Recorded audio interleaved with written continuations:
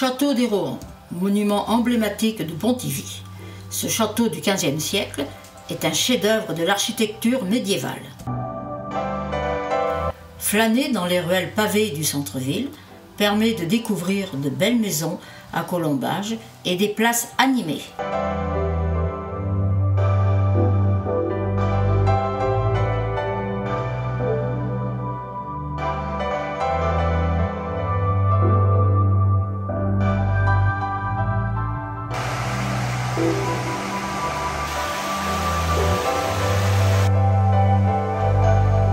Canal de Nantes à Brest. Une balade le long du canal offre une belle perspective sur la ville et ses environs.